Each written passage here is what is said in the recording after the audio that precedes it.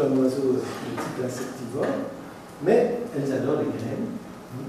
Et donc, les catégories, si vous voulez, qu'on fait, granivore, insectivore, c'est pour la facilité de l'esprit humain. Dans la nature, ben, les bruyants, par exemple, qui sont un exemple type de granivore, pendant la saison de reproduction, ils vont nourrir principalement leurs jeunes avec des insectes. Pourquoi? Parce que c'est la ressource alimentaire la plus riche en protéines et la plus disponible à ce moment-là. Donc, par la suite seulement, les graines apparaissent, plus tard dans l'été, et à ce moment-là, ben, on change de, régime alimentaire. Donc, il y a quand même une certaine plasticité, c'est rare qu'on puisse dire qu'un oiseau a vraiment un, régime alimentaire extrêmement strict et unique. Donc, alors ici, vous aurez reconnu pour le jet des chaînes. Donc, je vois que tout le monde, tout le monde ne dort pas, c'est bien.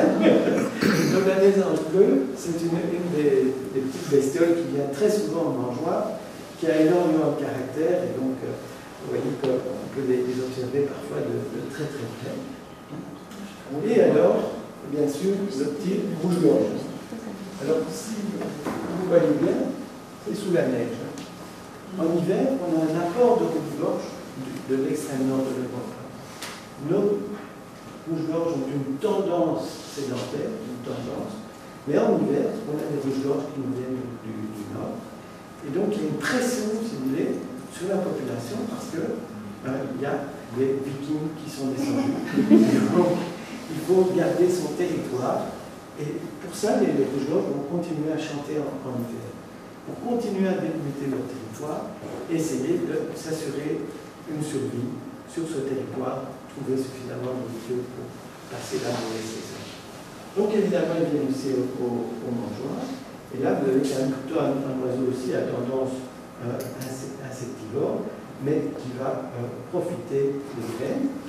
Et sous la mangeoire de nos jardins que vous venez voir là, se balade un petit individu qui en général va picorer les toutes petites graines qui sont tombées de la mangeoire. Et ça, c'est l'accenteur mouché. Est-ce que tout le monde connaît l'accenteur mouché? Non? Voilà, c'est très typique. C'est un oiseau très commun des, jardins, mais tellement discret que beaucoup de gens les confondent avec un moineau ou ne les voient pas du tout. En néerlandais, on l'appelle Egenus. Ça, veut dire le moineau des haies. Alors, ce n'est pas un moineau, d'ailleurs, c'est plutôt un insectivore. Hein, vous voyez la, la forme du bec eh bien, euh, c'est en fait un, oiseau qui a comme habitude d'aller sous les haies, rechercher des euh, micros, euh, par exemple des tout petites araignées, et on a calculé que la taille moyenne de ces proies était de 0,5 mm. Donc, ça, ce n'est pas qui fait dans le détail. Là, c'est bouché. Alors, regardez-les bien au mois de mars. Il y en a certainement dans les jardins près de chez vous. Et euh, à ce moment-là, donc il n'y a pas encore beaucoup de migrateurs qui sont revenus, eux sont plutôt sédentaires, et les mâles vont commencer à se mettre sur un poste de champ et commencer à délimiter leur territoire. Et à ce moment-là, ils sont un peu plus visibles, donc vous les repérez dans les jardins environnants. C'est l'accenteur euh, mouché. Alors, puisqu'on parle des mangeoires, quand nourrir et avec quoi? Ça, c'est une grande question. Et donc, euh, l'impact du, nourrissage, vous en avez parlé pour la forêt de la tête noire, par exemple, c'est très difficile à définir. Il y a pas beaucoup d'études sur le sujet, ce qu'il Alors, Natagora a une position par rapport à ça, où on, il préconise de nourrir uniquement en hiver, par grand froid. Mais que quand on le fait, et pendant l'hiver, il vaut mieux continuer, pour être conséquent et que l'oiseau sache qu'il va trouver des ressources alimentaires pour euh, passer l'hiver. Peut-être qu'on arrête évidemment aussi un phénomène migratoire en partie, et que des oiseaux qui partiraient plus au sud vont rester à des latitudes où il peut faire froid, parce qu'ils sont presque sûrs de trouver de la nourriture. Vous voyez, c'est une question où il n'est pas la réponse, mais ça peut évidemment interférer avec le comportement ben, des oiseaux. Alors l'Atagora dit aussi au printemps, ben, les jeunes euh, sont nourris d'insectes même chez les moineaux. Hein. Donc, euh, au printemps, euh, le nourrissage n'est pas nécessaire. Alors, moi, je mettrai quand même un petit bémol à ça. Hein. Euh, même un fameux bémol, ça c'est ma position à moi, personnelle. Hein. Et c'est de me dire, mais tiens, euh, tout compte fait, dans le temps, il y avait plein de, petites exploitations, hein, ou des gens qui avaient des petits poulaillers, avec euh, des, poules qui couraient en liberté. Et qu'est-ce qu'on faisait? On allait jeter du grain tous les matins. même en période de nidification. Donc les moineaux en profitaient. Donc c'est une ressource alimentaire qu'on met en plus à leur disposition. Libre à eux d'aller manger des insectes à côté de ça. Donc moi je suis peut-être moins strict à ce niveau-là, et je pense que ça peut être parfois dans des endroits qui sont assez dévastés au niveau de, de la nature, une façon d'aider quand même une population à se développer. Ça c'est mon point de vue. Et euh, je pense aussi que d'avoir parfois des conditions climatiques, hein, qu'on a vu cette année, qui sont invraisemblables au printemps. Donc là, on a eu un hiver pratiquement au mois d'avril. Vous avez peut-être observé des, tuyaux, par exemple, qui, qui euh, mouraient littéralement faim, qui, euh, au lieu de se balader dans, les bourgeons des, euh, qui s'ouvrent normalement au mois de mars ou au mois d'avril, étaient au sol, dans la neige, les pieds dans l'eau, en train de chercher des minuscules petites araignées qui se baladent à la surface de l'eau. On les a parfois approchés à moins d'un mètre comme ça, tellement ces oiseaux étaient affaiblis et à chercher de la nourriture. Donc je pense que dans des, conditions de printemps froid, il ne faut surtout pas se priver, bien sûr, de donner euh, de la nourriture aux oiseaux. Donner de la nourriture aux oiseaux, très bizarrement, si vous y pensez bien, c'est aussi un plaisir personnel. Depuis qu'on est petit, pratiquement, on aime faire ça. Donc pourquoi il faudrait s'en priver? Alors, euh, je pense que ce qu'il faut faire aussi, c'est quand même, si on nourrit, si on donne des graines, par exemple, c'est s'assurer de la bonne conservation des graines. Donc, pour bien faire, il faut qu'elles restent dans un milieu relativement sec, hein, pour ne pas qu'elles pourrissent, hein, ou qu'elles commencent à prendre racine, euh, qu'il n'y ait pas des moisissures qui se développent. Donc, tenez quand même votre mangeoire à l'œil. Hein. Euh, mais chez moi, c'est très vite parti. donc, si je mets un tube comme ça de graines, en deux jours, tout est parti. Donc, ça n'a pas le temps de moisir des masses. Donc, c'est quelque chose d'assez. Et personnellement, j'ai tendance à vous dire de favoriser les graines. Euh, je suis contre, personnellement, l'utilisation des boules de graisse. Je trouve que c'est un non-sens. Hein? Si vous avez un steak dans la, rue, vous n'allez pas le nourrir avec des boules de graisse. Hein? Je dis ça pourquoi? Parce que c'est une nourriture qui ne convient absolument pas à un oiseau. Hein? Où est-ce qu'une mésange irait manger même du sel dans la nature? Ça ne fait pas du tout partie de son régime alimentaire. Et non seulement ça, mais chez nous, on nous déconseille de manger de la graisse parce qu'au niveau cardiovasculaire, c'est évidemment nocif. Alors pourquoi pour un oiseau de quelques grammes, quel est l'impact À ma connaissance, il n'y a pas de d'expérience médicale pour voir quel est l'impact de la graisse animale sur la santé du maison. Mais je suis méfiant. Savoir aussi qu'il y a parfois du sel dans cette graisse. Hein. Donc c'est peut-être aussi une maison d'être méfiant. Et euh, disons que je pense, donc, personnellement, on ne sait pas non plus toujours d'où viennent ces graisses. Quand on vous vend des boules dans le commerce, euh, ben, on ne sait pas très bien quel type de graisse on a mis dedans. Donc personnellement, je vous dirais, si vous voulez mettre des, boules de graisse, fabriquez-les vous-même, ne les achetez pas dans le commerce, parce que là, on n'a aucun contrôle de qualité. Alors, le problème du pain, c'est aussi quelque chose de très particulier. Donc là, on déconseille en général le pain. Pourquoi? Parce que ben, ça s'habille comme une éponge. Donc en fait, le principal problème du pain, c'est que ça donne un sentiment de satiété à l'oiseau, alors que probablement il n'a pas mangé assez.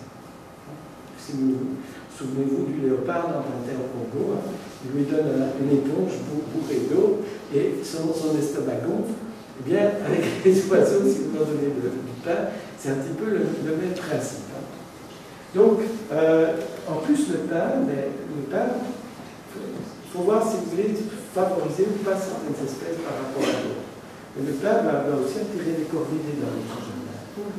Dans les corvidés, pour l'instant, eux, ils ont de la provence, ils ont de quoi manger maître, comme on dit en flamand. Euh, ils ont vraiment tout ce qu'il faut. Et si vous y pensez, en fait, là, c'est pour, quelle est la raison du succès actuel des, des corvidés, donc des, des pies, corneilles, corbeaux-freux, choucas La, raison, ce sont les détritus humains hein, dont ils profitent, mais c'est aussi toutes les victimes de la route. Hein. Quand vous vous promenez le long des autoroutes, comme moi, toute la journée et tout mon boulot, je suis sur la route pratiquement, eh bien, le nombre de cadavres de, petits animaux qu'on voit le long de la route, c'est quelque chose d'invraisemblable. Comme ce sont des charognards, eh bien, ils en profitent. Forcément, s'il y a une nourriture en abondance, eh bien, l'espèce va prendre de l'ampleur. Mais ça, c'est un déséquilibre que l'humain amène dans la nature, et donc, en favorisant les corvidés, on favorise aussi leur déprédation sur les, petits oiseaux, ça vous savez probablement, qui ont tendance à vider les nids des petits oiseaux quand ils ont l'occasion, de tuer un jeune mère à l'occasion. Hein. Donc, euh, quelque part, euh, peut-être qu'il faut limiter aussi le pain par rapport au fait qu'on donne encore en plus à des oiseaux qui ont plus qu'il faut dans la nature. Donc voilà par exemple un menu des oiseaux qui a été fait euh, par la diététicienne de chez Natalora. Euh, pas tout à fait. Hein. Et donc vous voyez qu'on peut donner par exemple euh, des pommes de terre, des biscuits grisés, les fruits. Ça c'est aussi une très très bonne idée. Si vous avez un pommier par exemple dans, votre jardin, gardez les vieilles pommes pourries et vous les laissez dans votre jardin en hiver. Et quand j'habitais au Québec, eh bien en fait, euh, j'avais eu cette magnifique surprise. On était parti avec euh, mon ami ornithologue, on était parti à, près de Québec, et plein hiver, moins 40, je ne sais pas si vous imaginez, vous êtes frais dans une petite affaire, là-bas. Et donc, euh, on était arrivé chez un, brave monsieur, hein, parce qu'on avait signalé des jaseurs de Bohème dans son jardin.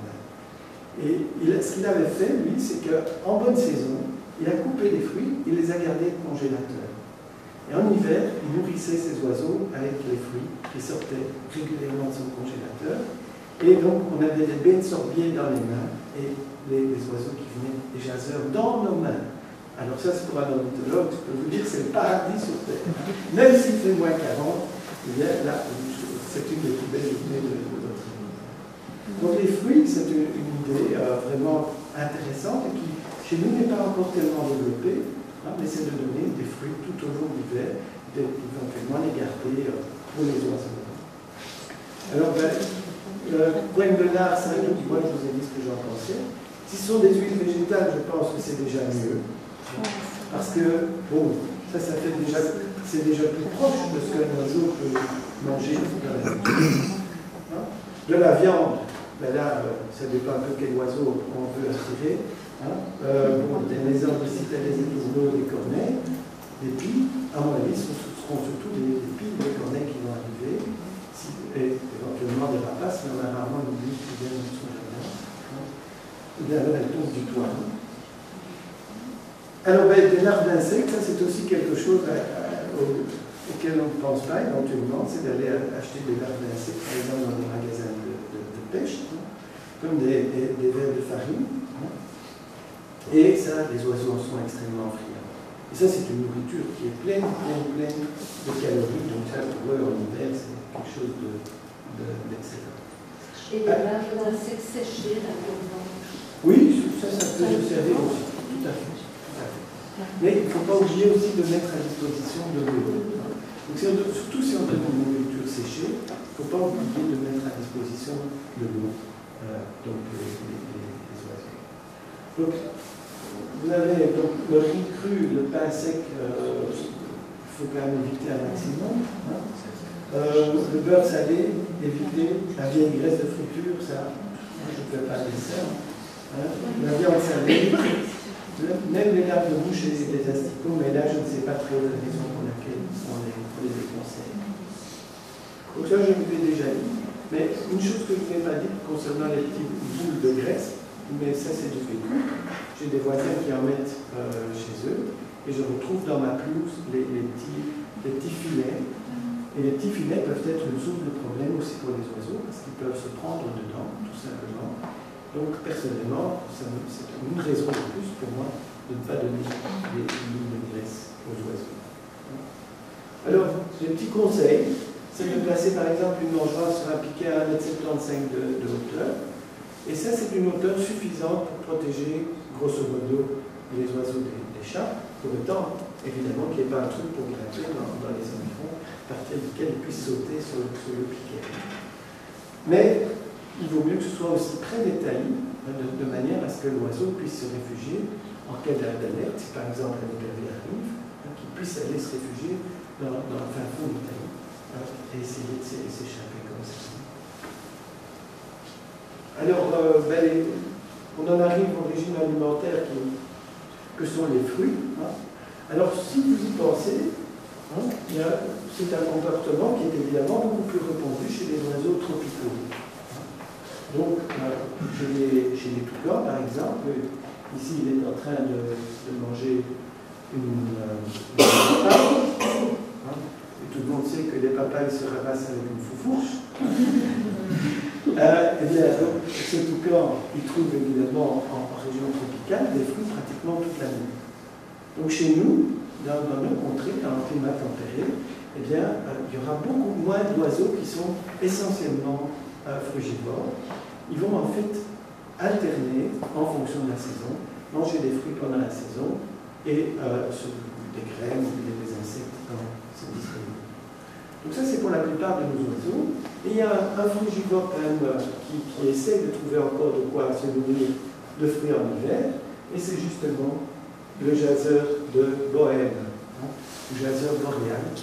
Et ici, par exemple, c'est lors excursion que je guidais donc, au Salins euh, ce printemps ici.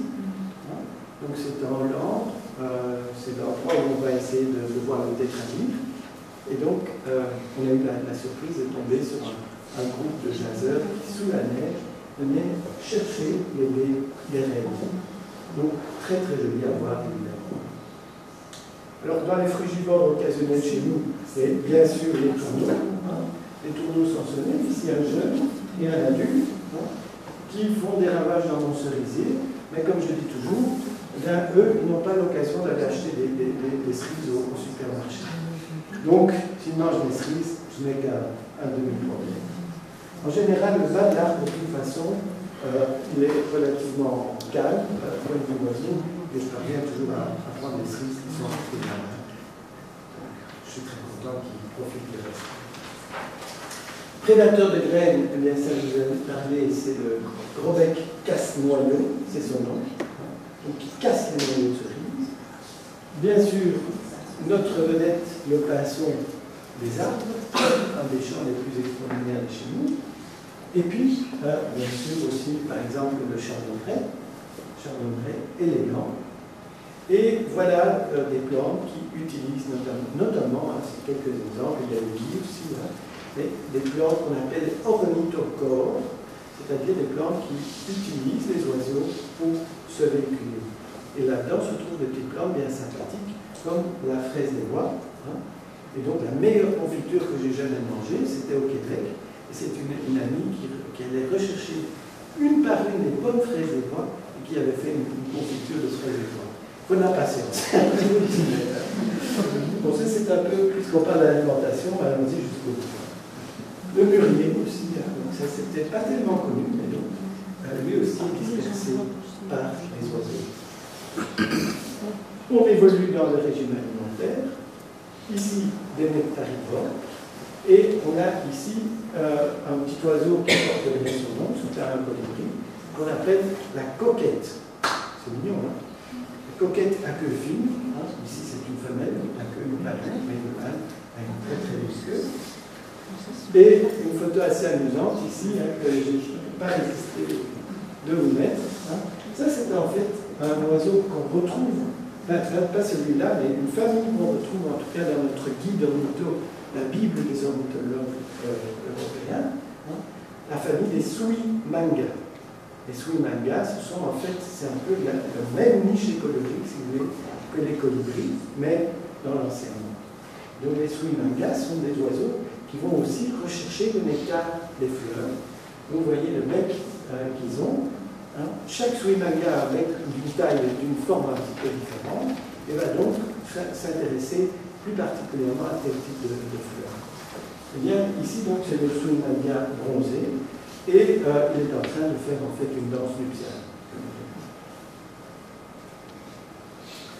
Alors je vous ai parlé de leur langue, hein, qui est en forme de gouttière, vous vous souvenez, hein, et qui est bifide donc euh, vers le bout, donc il a comme une espèce de double tuyau qui lui, revient dans, le fond de la gorge, et qui lui permet évidemment d'aspirer par capillarité en fait le nectar euh, que, lui donnent les fleurs.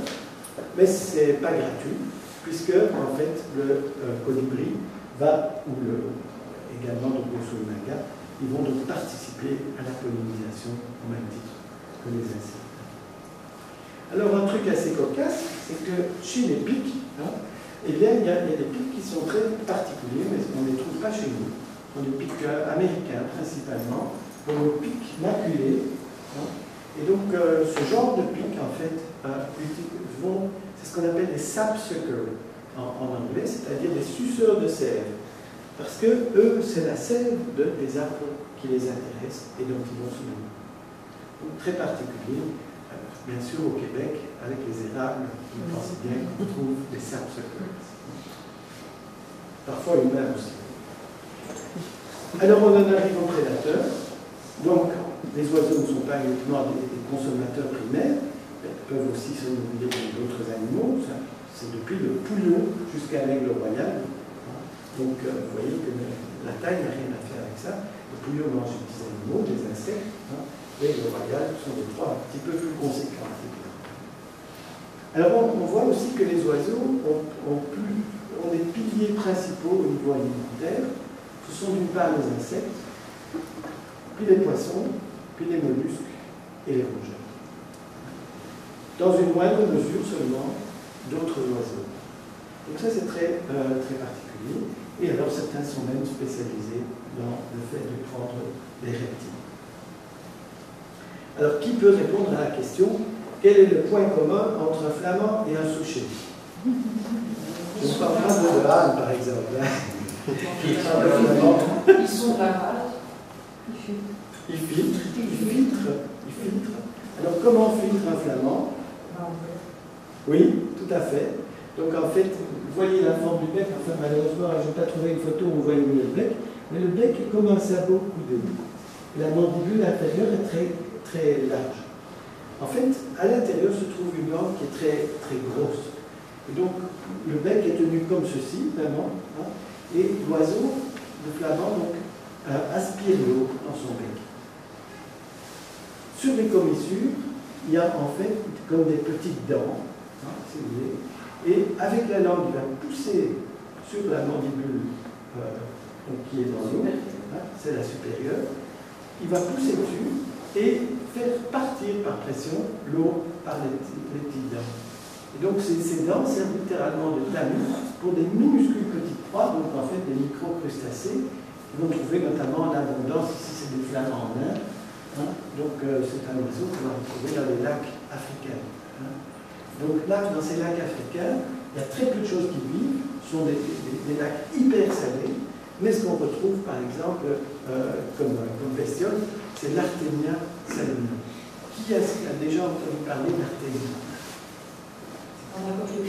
Voilà, voilà. Donc, je ne sais pas si tu peux expliquer. Euh... Ben, c'est des micro-crevettes en fait, euh, toutes petites, euh, presque transparentes, qui vivent dans l'eau salée, justement. Et comment est-ce qu'on les fait apparaître euh, En versant des petits œufs, euh, on dirait presque un petit sachet qu'il faut utiliser dans de l'eau, en fait, dans de l'eau très salée. et ils éclosent. Euh. Oui. En fait, c'est un kyste, c'est pas un œuf, c'est un kyste. Donc, le, la petite bestiole, la petite crevette, si vous voulez, sans kyste pendant la saison sèche, peut rester pendant des années complètement desséché, enquisté.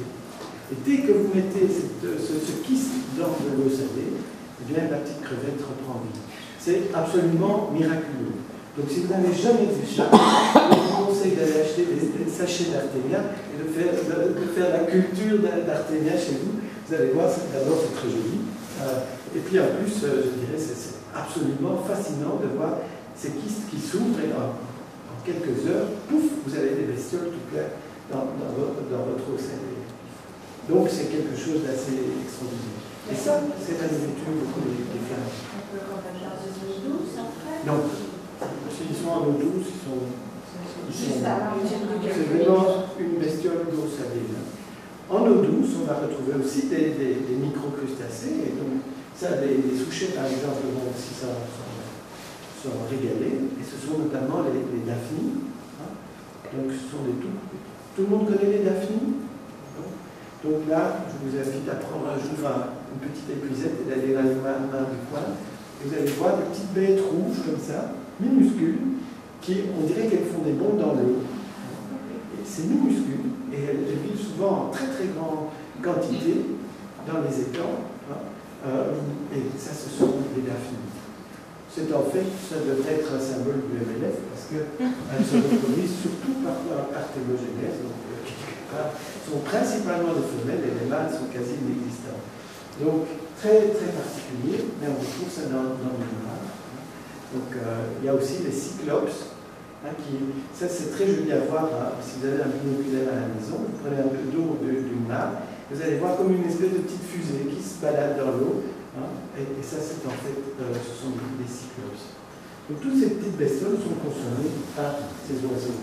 Et donc, le, point commun entre le flamand et le souchet, c'est d'avoir un filtre pour garder, si vous voulez, les micro-crustacés à l'intérieur du bec. Alors, certains oiseaux se sont euh, plutôt spécialisés dans les invertébrés au niveau du sol. Et là, on peut penser notamment aux, aux hein, mais aussi, j'ai déjà mais aussi aux merles, par exemple, dans le jardin. Vous avez sûrement déjà tous vu un merle qui, allait chercher de la nourriture dans, dans l'air. Et voilà, vous voyez que chez les limicoles, par exemple, euh, chacun a son type de, bec. Hein. Ça veut dire qu'il aime les vases. Hein. C'est ça que ça veut dire. Donc, c'est principalement les caractériformes. Hein. Et donc, euh, ce type d'oiseaux, comme euh, le tournepierre, les, les les pluviers, les chevaliers, euh, vitriépis, barges, courlis, tous ces oiseaux ont un bec d'une forme qui leur permet d'accéder à une nourriture différente. Hein, les courlis et les vaches vont par exemple pouvoir euh, euh, se nourrir de, ces espèces d'énormes spaghettis qui vivent dans le sol, en bord de mer, que sont les arénitoles, les gros vers hein, qui vivent dans un tube au bord de la, mer, que les pêcheurs connaissent, vont les chercher en fait, pour, pour, comme appât pour les poissons en bord de mer. Vous avez probablement déjà vu ça. Mais d'autres se nourrissent plutôt des, petits crustacés, des, petits mollusques qui vivent à la surface, comme des hydrobiens, qui sont des, petits escargots qui vivent vraiment à la surface des lacs salés. Et donc les pluviers, par exemple, les, les tadons peuvent être extrêmement friands. Il y a aussi les talitres, les talitres qu'on appelle aussi plus des sables. Et là, vous voyez que euh, ça peut être consommé notamment par le chevalier gambette euh, et autres. Et l'as de liste, le mutriepi, lui, eh bien, sa nourriture favorite, ce ne sont pas les huîtres, hein, quoi qu'ils puissent pas devenir une petite huître, mais ce sont principalement les coques ou les vers. Il y a deux populations distinctes, certains sont, sont plus friands de et les autres de coques.